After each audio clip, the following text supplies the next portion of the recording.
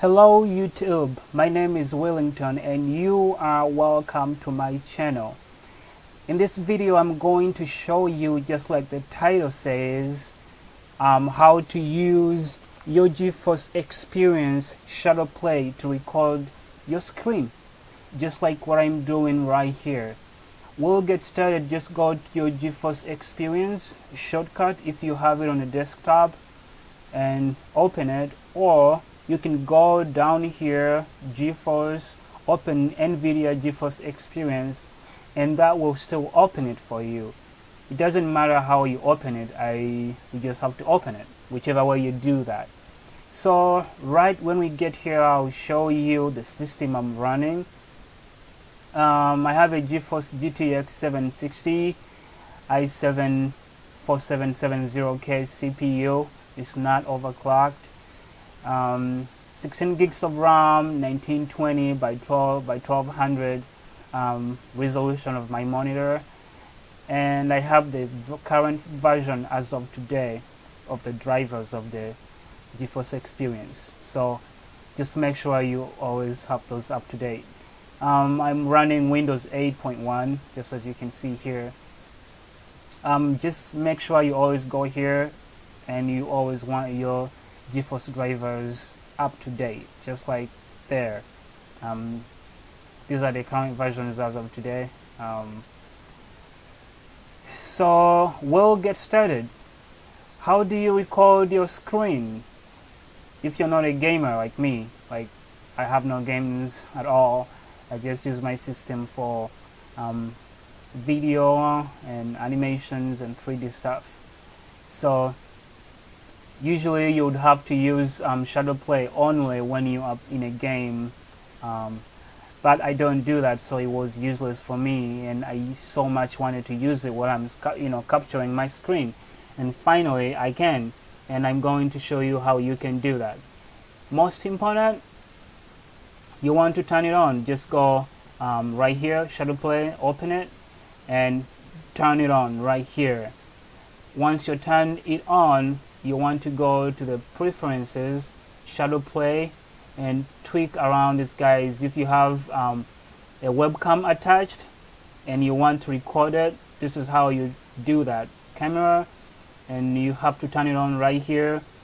And LM I mean large medium and small that's just how what big you want your your webcam to appear here. But I don't have that so um, that's just wanted to show you those settings. You can do that too. The most important thing that we want for this video is this right here. Allow desktop capture. You have to check that on. That's how you have to do it. If you don't enable that then it goes back to just in-game recording only. So right down here you want to change if you have to. I just leave mine in the default. That's where all my saved videos go. But if you want to change them to go somewhere else this is how you do that. Just go change to whichever location you want. And I have some settings right here that I have to mention. Like when you get to the ShadowPlay right here when you open it you have settings here that can only be done when you're recording. If I turn it off this will be disabled. You can't do anything here same as here. You have to turn it on before you can change any settings. So um, the settings I wanted um, just give you a quick review about. Um, right here this gives you a quick open to your files wherever you are being saved. It just gives you a quick access to that. And this just brings you to these settings right here.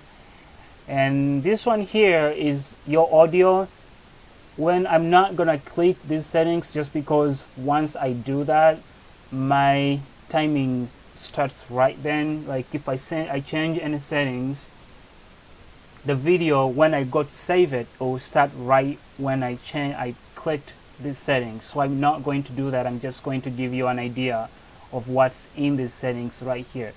So in audio you have three options I think as of today. It might have changed whichever time you're watching this video. But as of today it has three settings in here.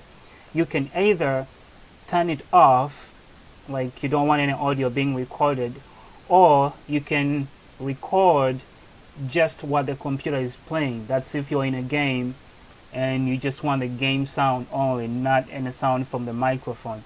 Or you can put it to where I have it right now in game and microphone. So if I play anything on a computer um,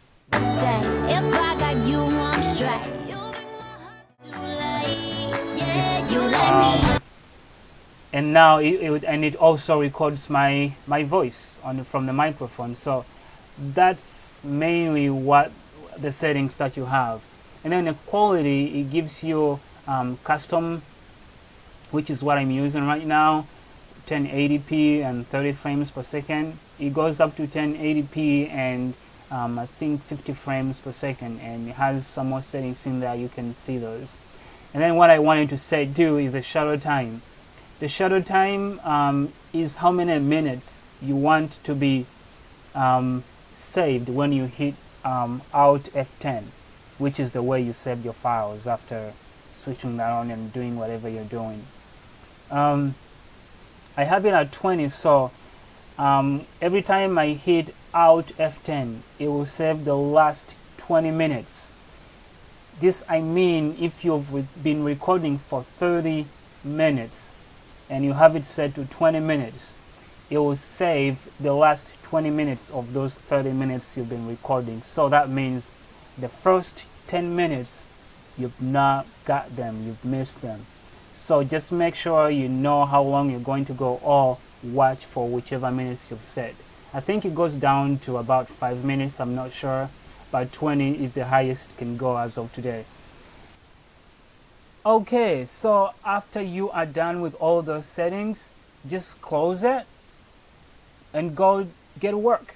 Do whatever you are doing and once you are done, hit Alt F10 and your file will be saved wherever you you directly to be saved.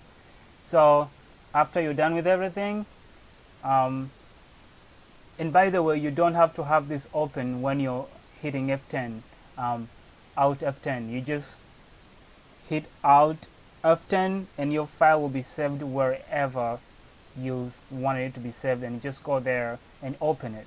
So that's that pretty much um, concludes this video. Please do not forget to subscribe to my channel.